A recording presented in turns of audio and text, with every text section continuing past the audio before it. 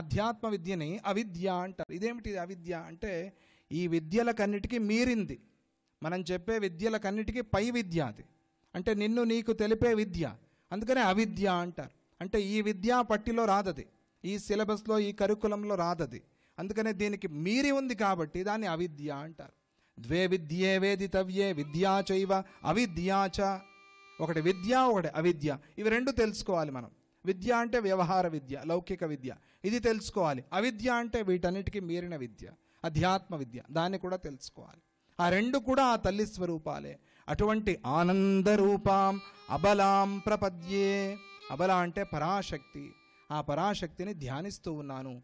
తరువాత లేచి శుచిగా స్నానం చేసి కాలకృత్యాలని తీర్చుకొని శుచిగా స్నానం చేసి నన్ను పూజించాలి. అమ్మవారు చెప్తోంది.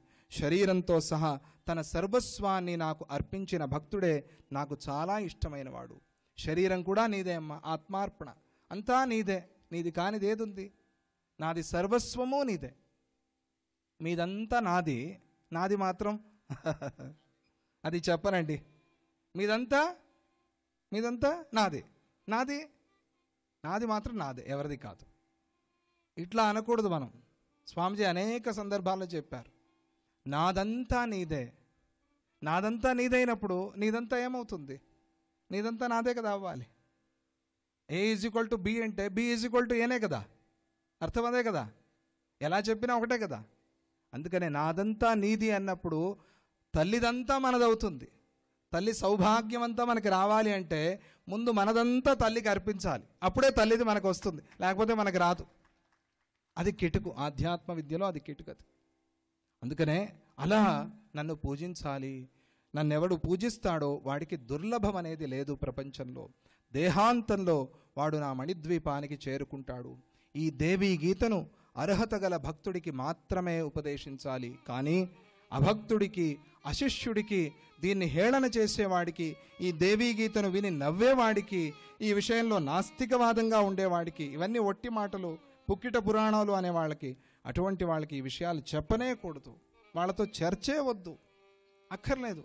ఎలా తెలుస్తుందండి? కుండలిని మాత శక్తి సహస్రారం ఇవన్నీ అనుభవిస్తేనే తెలిసేది. డాక్టర్ ఓపెన్ చేసి చూపించలేడు.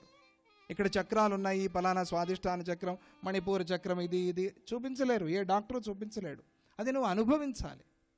అనుభవిస్తేనే తెలిసే విషయాన్ని ఎందుకు ఎవరితోనో చెప్తావు? చెబితే సద్భక్తుడితో చెప్పు. సహృదయుడితో చెప్పు. అంటే నీ హృదయంతో కలిసే హృదయం వాళ్ళకే చెప్పు. సుహృదయుడితో చెప్పు. మంచి హృదయం కలవాడితో చెప్పు. అక్కర్లేని వాళ్ళతో చర్చించద్దు. చాలామంది ఆ పొరపాటు చేస్తారు. భక్తి ఉంది అని చూపించుకోవాలని ఊరికే వాదించటం. ఊరికే పోరాటం ఫైటింగ్ చేయటం యుద్ధం చేయటం భక్తి భక్తి. అది కాదు భక్తి అంటే. పోరాటం భక్తి కాదు. యుద్ధం భక్తి కాదు. శాంతమే భక్తి. శాంతిగా ఉంటేనే భక్తుడు. యుద్ధం చేసేవాడు భక్తుడు కాదు. అందుకని యుద్ధానికి దిగకూడదు మనం. భక్తులమైన వాళ్ళం యుద్ధానికి దిగకూడదు.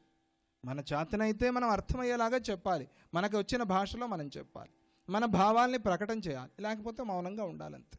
దీనిని రహస్యంగా ఉంచాలి అని హిమవంతుడికి అమ్మవారు ఉపదేశించి అంతర్హిత అయింది. అంటే అమ్మవారు అక్కడ మాయమైపోయింది.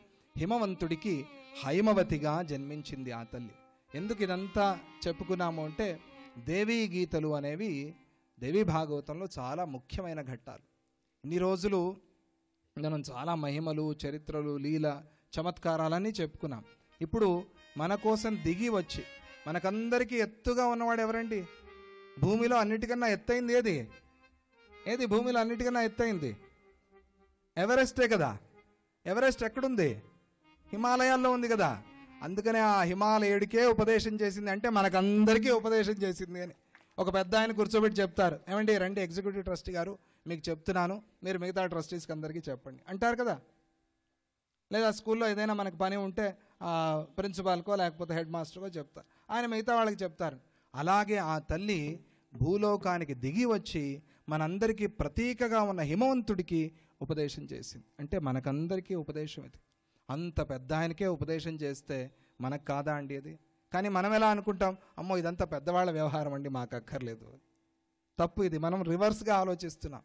అట్లా ఆలోచించకూడదు. ఆయనకే చెప్పింది ఆయనే విన్నాడు అంటే ఇంకా మనం ఎంత అండి? మనం వినాలేది మనం అర్థం చేసుకోవాలి.